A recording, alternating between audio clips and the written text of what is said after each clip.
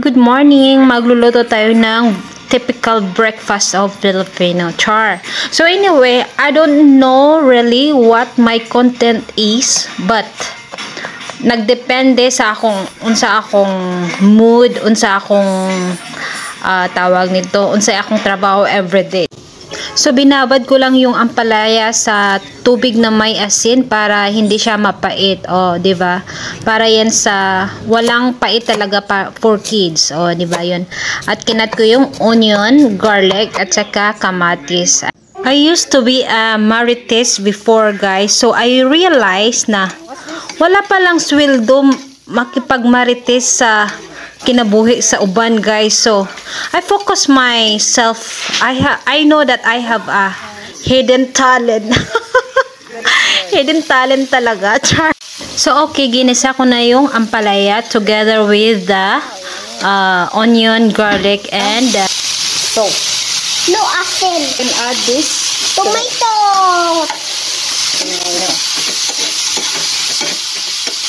Okay so let's wait until four 10 hours. 10 hours? Yes, tikman yung ampalaya kung luto na. Uh -huh. And then, after a while, you can put your eggs. Oh, di ba? Ayan. And then, mix them together. Okay, so let's wait until it's done. For 10 minutes. While gahulat ko maluto ang ampalaya, so magluto ako ng tosino sa another pan. Oh, di ba? Oh. Yeah.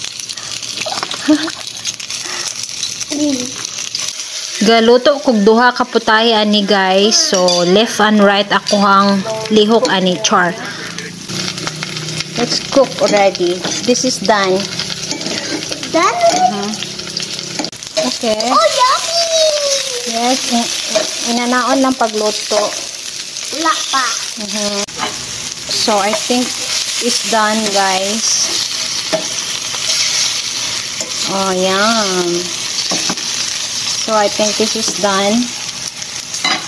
After sa pinaglutuan ng inyong tusino, pwede nyo ilagay yung uh, rice. Yes, wow, ang ganda ng gulay. And, ang palaya. No, this not. Mmm, yummy. Wow! First, guys, oh, one more time. Mmm, yummy. Perfect ang tocino at saka ang palaya. Perfect, matamis at medyo mapait. Oh, di ba? Mmm, yum. Mmm. Coffee, guys. Parang nasa restaurant ka. Char! Restaurant talaga. Oh, look. Mmm. Last, three star. So how many? How much? One, two, three, four. Four star. Yes. A four. Three plus one equals? Four. What? Five plus one. One, two, three, four, five. Oh, that's six. Okay. I got my head out the sun.